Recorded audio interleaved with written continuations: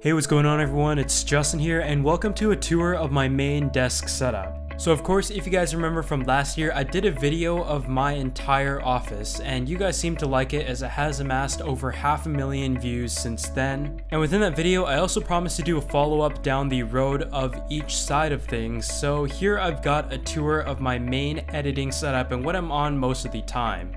A lot has definitely changed, but the reason why I've waited so long to make this video is that I finally settled on things and nothing has changed in the last few months. But as always, every product will be linked in the description section, so check down below if you have any products you're looking for. But let's go ahead and show you guys what's on my setup. Starting out with the right side, you're going to find my lightning dock with the Apple iPhone 6s, which is my daily driver with the Apple battery case. Moving on, one of the biggest complaints I had when using the iMac is the lack of USB ports, so I've got myself an Anker 4-port hub. You're definitely going to notice later in this video, I did have to purchase a lot of peripherals and a lot of external things from the iMac to make the setup work, but overall it gets the job done. As for my peripherals, I have the Apple Magic Keyboard and I'm actually a huge fan of this and although people did complain about the angle of it, being a user of the 12 inch Mac for school, I was very used to the keyboard already. Additionally, you have the Logitech MX Master mouse, which works great for video editing, but it does still have certain problems like connectivity, which shouldn't happen on a mouse of this price. As for the computer, I have a 27-inch 5K iMac, and this is the current model that is maxed out with the 2TB Fusion drive. As you may imagine, I was very stubborn and sad to get rid of my beloved Mac Pro, but it was ultimately the right decision as the iMac was able to deliver better performance than the Mac Pro in Final Cut. This is due to the i7 processor having quick sync, which the Xeon processor did not, and Final Cut was able to take advantage of that.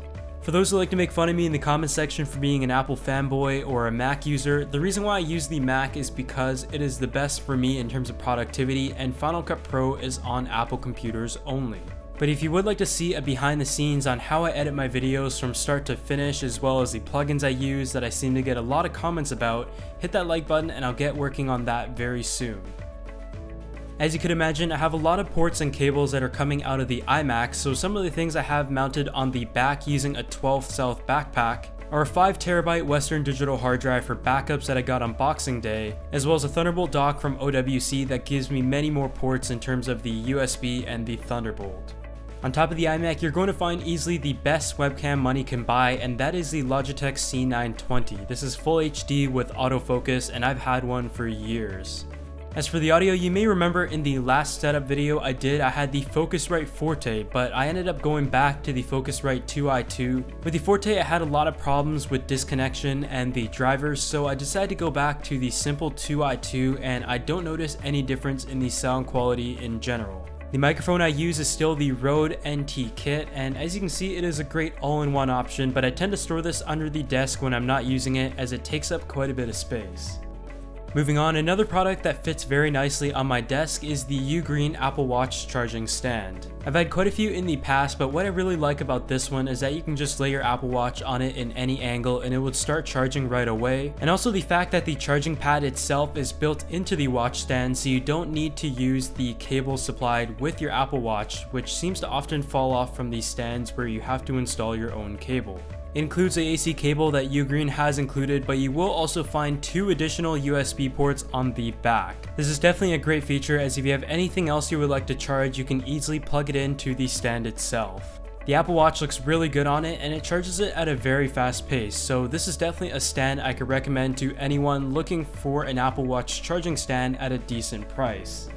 Something that I often get a question about when I'm posting a picture of my setup is what the speakers are on my desk. So the speakers are the Audio Engine A2 Plus. I've actually had two of these guys now, one on my previous setup and I purchased another set for the new one and they are probably my favorite desktop speakers. It is obviously for two main reasons, one of them being the fact that they don't take up too much space on the desk, but the second being the tremendous sound quality.